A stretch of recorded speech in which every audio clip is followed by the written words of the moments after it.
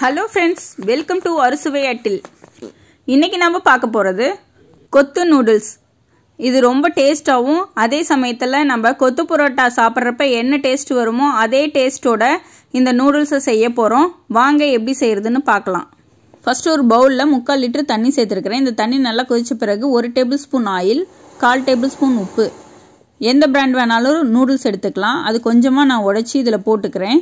இது நல்லா வெந்து வரட்டும். அதாவது முக்கால் பாகம் வெந்த பிறகு நம்ம இதை எடுத்து தண்ணியை வடிகட்டிட்டு பச்சை தண்ணியில் அலசி நூடுல்ஸை எடுத்து வச்சுக்கலாம். பச்சை தண்ணியில் அலசினா ஒன்றோட ஒன்று ஒட்டாமல் இருக்கும். அதனால் பச்சை தண்ணியில் அலசி எடுத்து வச்சுக்கலாம். இது ஒருத்தர் சாப்பிட்ற அளவுக்கு நம்ம இப்போ செய்ய போகிறோம் ஃபஸ்ட்டு ஒரு கடாய் எடுத்துக்கலாம். கடாயில் நாலு டேபிள் ஸ்பூன் கடலெண்ணெய் ஒரு கொத்து கருவேப்பில்லை மீடியம் சைஸ் வெங்காயம் கொஞ்சம் நீட்ட வாக்கில் கட் பண்ணி எடுத்துருக்கிறேன்.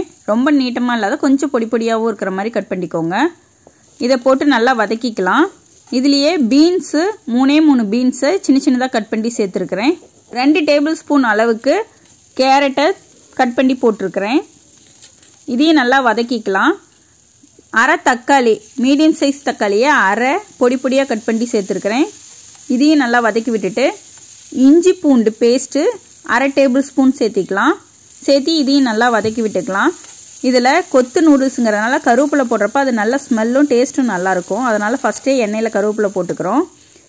முட்டைக்கோசையும் ரொம்ப சன்ன சன்னமாக கட் பண்ணி எடுத்துருக்கிறேன். இது ஒரு கப் அளவு சேர்த்துருக்கிறேன். இதில் வந்து வெஜிடபிள்ஸ் தான் அதிகமாக இருக்கும். நூடுல்ஸ் ரொம்ப கம்மியாக தான் இருக்கும். அதனால் இது ஹெல்த்தியாகவும் அதே சமயம் நல்ல டேஸ்ட்டாகவும் இருக்கும். கால் டேபிள் ஸ்பூன் சில்லி ஃப்ளேக்ஸ் கால் டேபிள் ஸ்பூன் கரம் மசாலா அரை டேபிள் ஸ்பூன் கொத்தமல்லி தூள் கால் டேபிள் ஸ்பூன் சீரகத்தூள். உப்பு தேவையான அளவு அரை டேபிள் ஸ்பூன் நான் சேர்த்துருக்கிறேன். இதையும் போட்டு நல்லா வதக்கி விட்டுக்கலாம். ஒரு டேபிள் ஸ்பூன் அளவுக்கு சோயா சாஸ் அரை டேபிள் ஸ்பூன் அளவுக்கு சில்லி சாஸ் இது ரெட் சில்லியாக இருந்தாலும் சரி க்ரீன் சில்லியாக இருந்தாலும் சரி எது வேணாலும் சேர்த்துக்கலாம். இதையும் போட்டு நல்லா வதக்கி விட்டுக்கலாம். நம்ம இப்போ ஏற்கனவே வேக வச்சு வச்சுருக்கிற நூடுல்ஸை இப்போ இதோடு சேர்த்துக்க போகிறோம் இது வந்து ஒரு கையளவு தான் நூடுல்ஸ் நான் இதில் சேர்த்துருக்கிறேன். இது ஒருத்தர் நல்லா சாப்பிட்ற அளவுக்கு இருக்கும். ஏன்னா இது அந்த அளவுக்கு நம்ம வெஜிடபிள்ஸ் எல்லாம் சேர்த்துருக்குறோம். இதில் ஒரு நல்ல பெரிய டம்ளராக எடுத்து நல்ல பரோட்டா கொத்துற மாதிரி இதை நல்லா கொத்தி விட்டுக்கோங்க.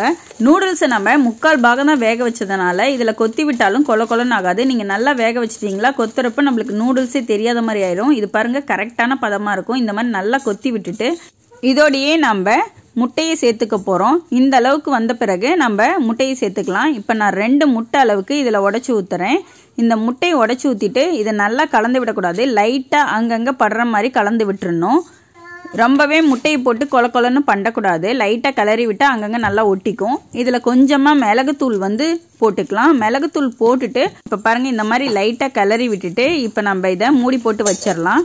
ஒரு அஞ்சு நிமிஷம் ஆகட்டும். இப்போ ஒரு அஞ்சு நிமிஷம் ஆயிடுச்சு. இதில் லைட்டாக பச்சை மிளகாயும் ஸ்ப்ரிங் ஆனியனும் சேர்த்துருக்கிறேன். ஸ்ப்ரிங் ஆனியனுக்கு பதிலாக நீங்கள் கருவேப்பிலை கூட சேர்த்துக்கலாம்.